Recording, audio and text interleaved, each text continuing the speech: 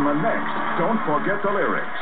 An American Idol takes the stage. Constantine Maroulis. He's got big plans. I'm going to be the first million dollar winner. And he's got a big voice. Look out, baby, cause here I come. But does he have what it takes to win big money for his charity? Plus,